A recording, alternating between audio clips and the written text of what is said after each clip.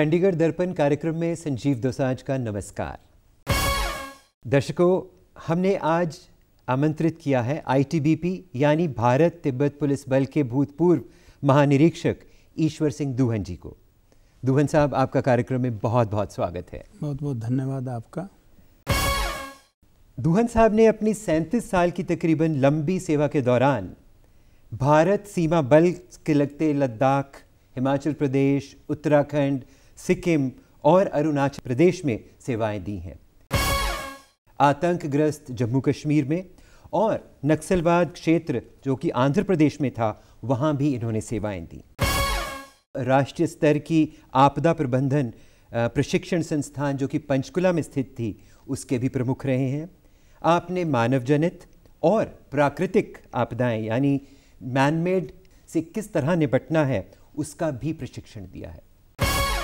भारत सरकार द्वारा चार कठिन सेवा पदक आंतरिक सुरक्षा सेवा पदक विदेश सेवा पदक हाई ऑल्टीट्यूड मेडल संयुक्त राष्ट्र सेवा पदक और अति उत्कृष्ट सेवा पदक से नवाजा गया।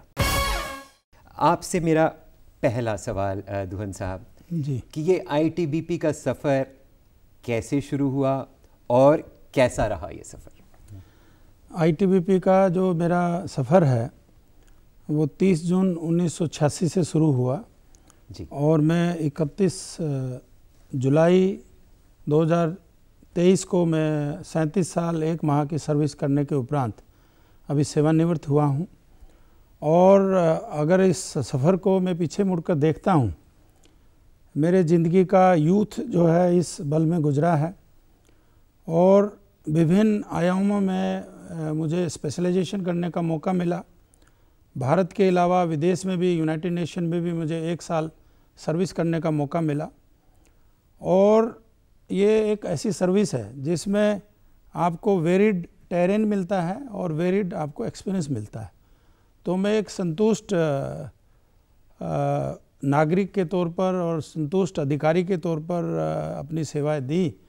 और अभी मैं पिछले छः माह से पंचकुला में अपना रिटायर लाइफ लीड कर रहा हूँ।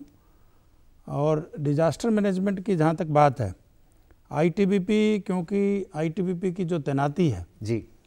वो अत्यंत दुर्गम क्षेत्र में है और जो हिमालय है वो सबसे यंग माउंटेन है अनस्टेबल माउंटेन है।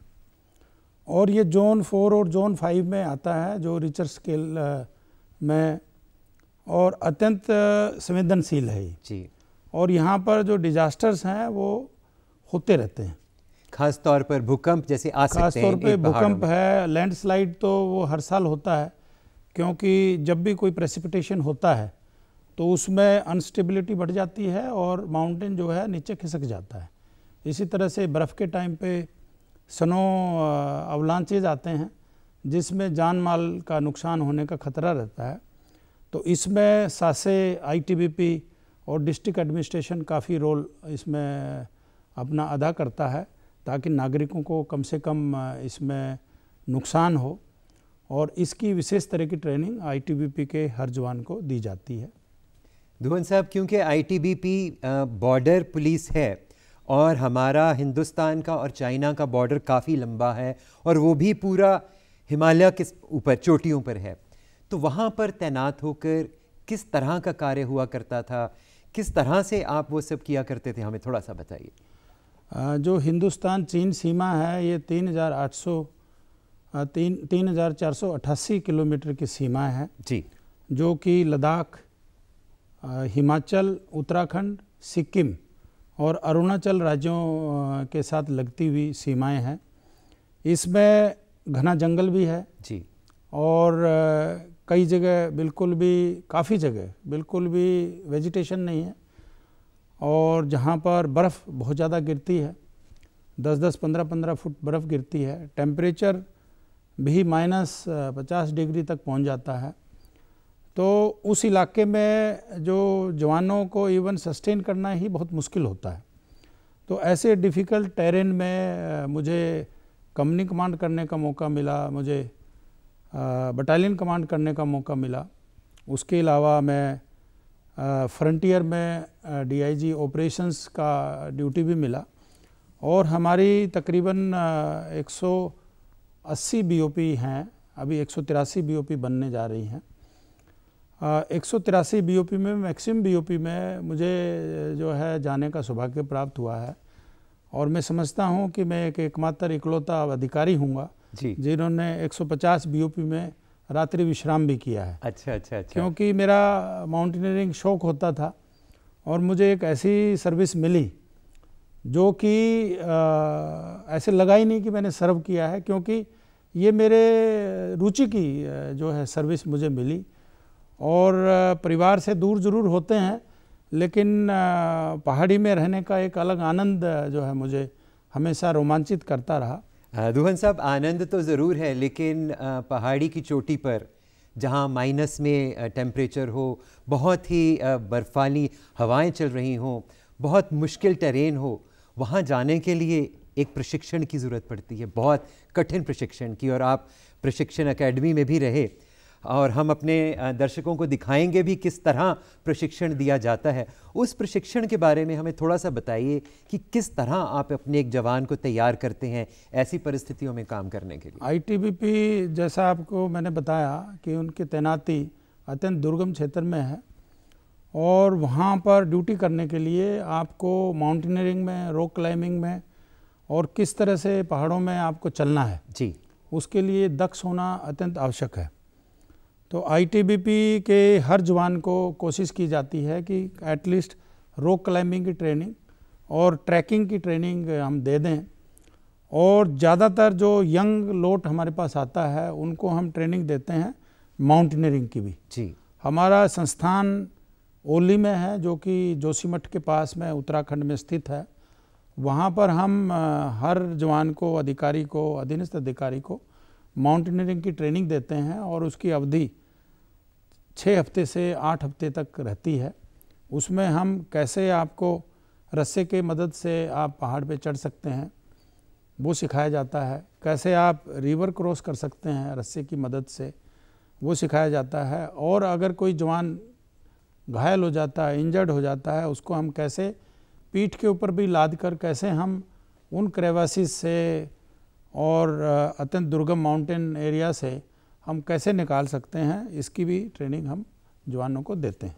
धुवन साहब, जब आपने बात की कि पर्वतों की, पहाड़ों की, जहाँ क्रिवाइसिस हैं, बहुत बड़े बड़े गॉर्जेस और कैनन्स हैं, बहुत स्टीप स्लोप्स हैं तो जहाँ चलना भी बहुत मुश्किल है, उस एरिया में जब कोई एक्सीडेंट हो जाता है, कोई भूकंप आता है या कोई गाड़ी ही सड़क से फिसल कर नीचे गिर गई तो ऐसी इमरजेंसी में, ऐसी आपदा में आप किस तरह वहाँ उनको मदद पहुँचाते आईटीबीपी की जो तैनाती है वो सिविल पॉपुलेशन के जो है सबसे फ़र्स्ट रिस्पोंडर हम ही हैं आईटीबीपी है।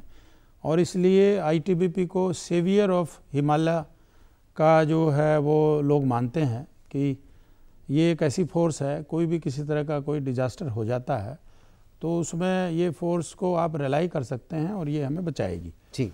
और हम इवन गाँव में स्कूल्स में भी अवेयरनेस कैंप लगाते हैं। और गाँव के लोगों को भी इसके बारे में हम ट्रेंड करते हैं। स्कूल्स कॉलेजेस में भी जो बच्चों को आ, इसके विशेष तौर पर हम लोग कैंप्स लगाते हैं और मॉक ड्रिल हम करवाते हैं जो है जो भी हमारे इलाके में है। और अभी तो वाइब्रेंट विलेज का कंसेप्ट प्रधानमंत्री ने दिया है। जिसमें जो पहले दुर्गम गाँव माना जाता था आज की डेट में हम उसको पहला गाँव मानते पहला गाँव मानते हैं जी। और सरकार की तरफ़ से भी प्रायोरिटी है आईटीबीपी तो प्रायोरिटी हमेशा से उनको देती थी क्योंकि हम लोग भी कई तरह से उनके ऊपर डिपेंडेंट है। कहीं कोई अभियान हमें करना होता है अगर पोर्टर की आवश्यकता है तो हम गाँव के लोगों को रोज़गार देते हैं उसमें। कोई सब्ज़ी आपको पहुंचानी है कहीं इलाके में हमारे लोकल कंट्रैक्टर्स वही गाँव वाले लोग होते हैं तो हमारा बहुत अच्छा रिलेशंस उनके साथ में रहता है। और पिछले सैंतीस साल में मैंने कोई साल नहीं देखा जहाँ पर कोई आईटीबीपी ने एक कोई मेजर रेस्क्यू ऑपरेशंस ना किया हो। और बहुत ही सक्सेसफुल रेस्क्यू ऑपरेशंस किए हैं। और काफ़ी बार तो हम जो रेस्क्यू में फंसे हुए जो है वो विक्टिम को जी। बचा भी पाए हैं। जैसे आपने अभी देखा जोशीमठ के पास में जो फ्लैश फ्लड आ गया था जी। उसमें टनल में जो फंस गए थे वहाँ एक पावर प्रोजेक्ट बन रहा था। तो उसको हमने ऊपर से अप्रोच करके और उस जवान को हमने निकाला। और वो जवान की जो वायरल आपने देखा है यूट्यूब पे पूरी अत्यंत वायरल वो हुई और हमारे जवानों को उसके लिए लाइफ सेविंग मेडल भी मिला।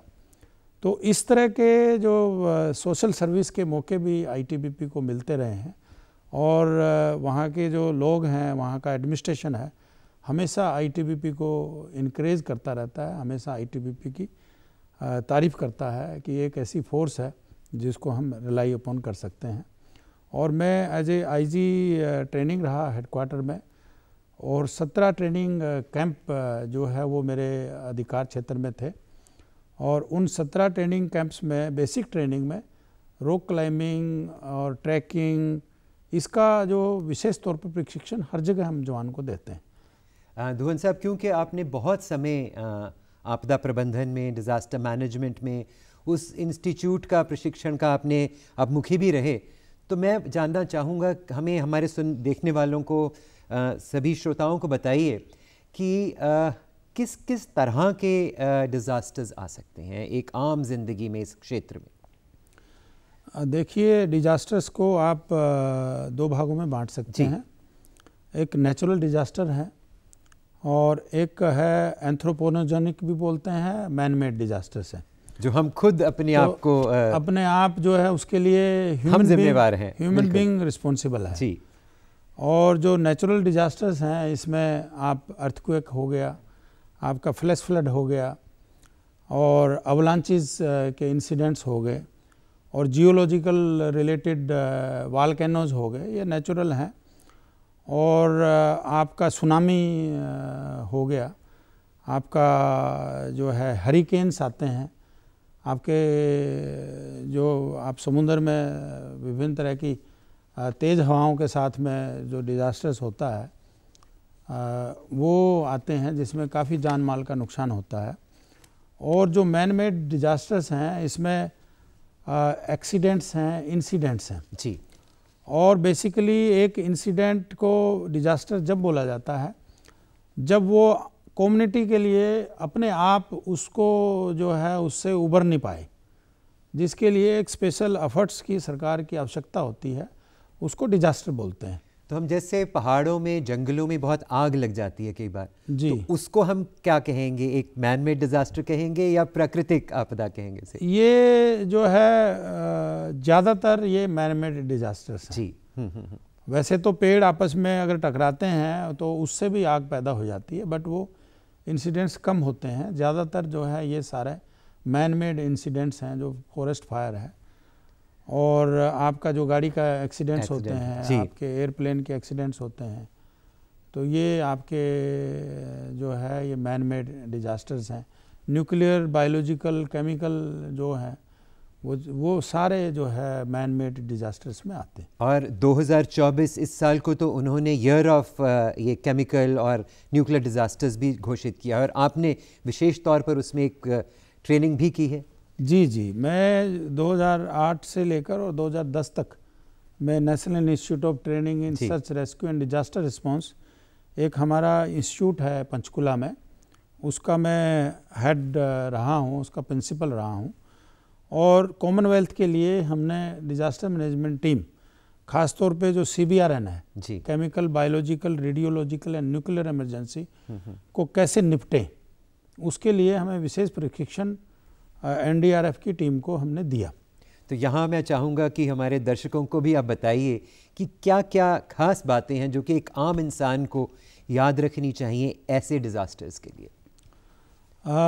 अवेयर रहना चाहिए और आप किस वनरेबिलिटी आपकी क्या है जिस इलाके में आप आ, रहते हैं। जैसे पंचकुला है और आपका हिमालय क्षेत्र है ये आपका बाहर के प्रोन भी है। उसके अलावा मैं आप ये रिचर स्केल में जोन फोर और जोन फाइव के में आता है जो कि अगर किसी तरह का कोई भूकंप और ज़मीन में हरकत होती है तो काफ़ी डिजास्टरस हो सकता है।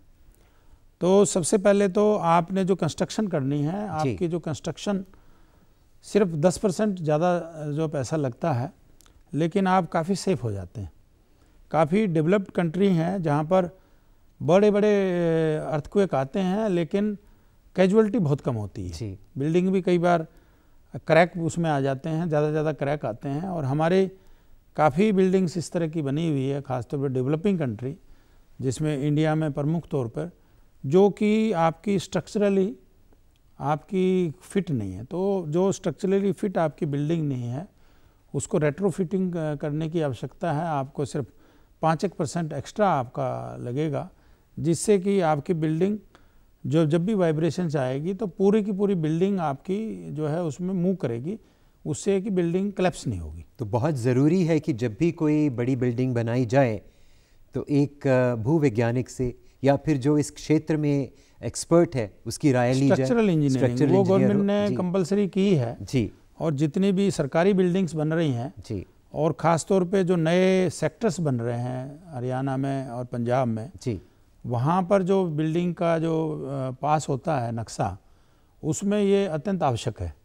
लेकिन जो बिल्डिंग गाँव में बना रहे हैं तो वहाँ पर ये आवश्यक नहीं है।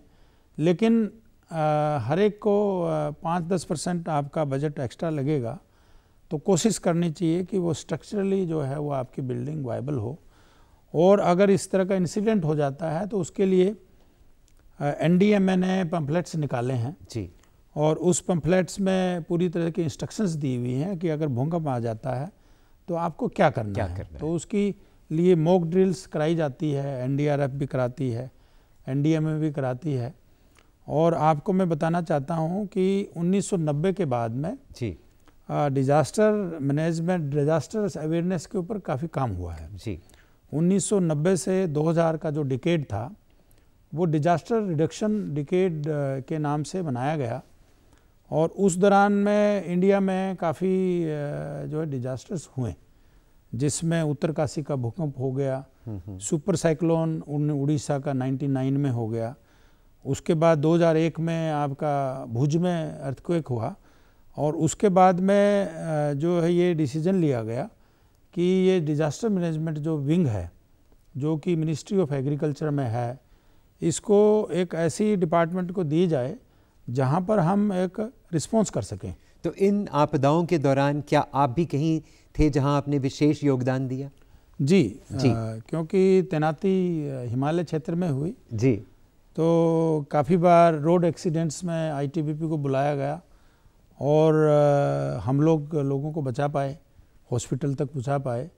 ये बड़ी ही गर्व की बात है। मैं जानना चाहूँगा कोई ऐसा वाक्य जो आपको याद हो जहाँ आपने किसी को खास मदद की हो और उसकी जान बचाई हो, हमारे दर्शकों को भी बताइए। मैं बताना चाहूँगा, उन्नीस सौ निन्यानवे में सतलुज नदी में बाढ़ का जो बाढ़ आई और वो रात को हमें सूचना दी हमारी एक पोस्ट द्वारा कि सर बहुत ज़्यादा पानी तिब्बत, चाइना से और यहाँ प्रवेश हुआ है और हम लोग इस पोस्ट को उठा के हम ऊपर वाली पोस्ट के ऊपर जा रहे हैं। जी। हम गाड़ियाँ शिफ्ट कर रहे हैं, वहाँ पर घोड़े थे, खच्चर थे, उनको उन्होंने शिफ्ट किया। तो उसके बाद पूरी रात हम लोगों ने टेलीफोन को उठा के और डायरेक्टरी लेके लोगों को फ़ोन किए कि ऐसे ऐसे, क्योंकि रात का क्षण था कि अनअवेयर लोग जो है वो बह ना जाए। तो लोगों को अवेयर कराया और जब वो रात को सुबह चार, पाँच बजे के लगभग जब पानी पहुँचा, जहाँ पर हम लोग तैनात थे तो उसके नीचे एक जगह है रामपुर भूशहर जी। और उसके सामने एक गाँव है जगत खाना गाँव। तो वो पुल पूरा बह गया था और पुल की जो स्ट्रक्चर स्ट्रक्चर रह गया था साइड वाला पूरा पोर्शन बह गया। फिर वो पेड़ को लगा के हम लोगों ने सीढ़ियाँ बनाई उस गाँव को हमने अप्रोच किया। और तीन तीन चार चार मंजिल मकान है सिर्फ़ उनके स्लैब्स रह गए थे। बीच वाले पोर्शंस बिल्कुल निकल गए थे। बिल्कुल। हम्म, हम्म। तो वहाँ पर जो है हमने रेस्क्यू ऑपरेशन किया लोगों को भी उसमें इन्वॉल्व किया। मैं अपने दर्शकों को बताना चाहूँगा कि ऐसी स्थिति में आकाशवाणी और दूरदर्शन बहुत ही कार्य करते हैं ताकि वो अनाउंसमेंट करते हैं लोगों को बता सकते हैं कि फ्लैश फ्लड्स आने वाले हैं या साइक्लोन्स आने वाले हैं ताकि लोग संभल जाएँ और अपनी जान की रक्षा कर सकें। आपने भी इस्तेमाल किया होगा ये ज़रिया जब आप लोगों को जी जी जी। रेडियो जो है रेडियो की पहुँच हर जगह है और रेडियो एक बहुत ही अच्छा कम्युनिकेशन माध्यम है और जिसके ज़रिए लोगों को पता लग सकता है। और हम लोग भी इंस्ट्रक्शंस एनडीए में भी इंस्ट्रक्शंस रेडियो और टीवी के माध्यम से इस तरह के डिजास्टर्स में बताता है। धुवन साहब इस क्षेत्र में पंजाब हरियाणा हिमाचल में आ, बहुत आमतौर पर फ्लड्स आ जाते हैं बाढ़ आ जाते हैं जी। पीछे भी आए थे। जी। तो उस स्थिति में एक आम इंसान को एक आम नागरिक को किस तरह तैयार रहना चाहिए? जब भी कोई बाढ़ आती है तो आप जो मकान अपना बनाए तो सुरक्षित जगह बनाए। और अपने मकान को अपने इलाके को आप जब भी बाढ़ का क्योंकि जब भी बाढ़ आती है तो उसका नोटिस आपको एनफ मिल जाता है। मिल जाता है कई बार जो है वो फ्लैश फ्लड हो जाता है और पहाड़ी इलाके में थोड़ा सा कम रिस्पॉन्स कम मिलता है क्योंकि क्लाउड बर्स्ट भी होता है एक नेचुरल मैकेनिज्म है। लेकिन प्लेन प्लेन एरिया में आप बंद बना सकते हैं। सरकार की तरफ़ से भी जितने भी ड्रेनेज ड्रेनेजेज है वो डिज़ास्टर मैनेजमेंट सेल है सरकार, हर सरकार के पास में। तो बरसात के सीज़न आने से पहले वहाँ पर काम होता है और नदी नाले साफ़ किए जाते हैं।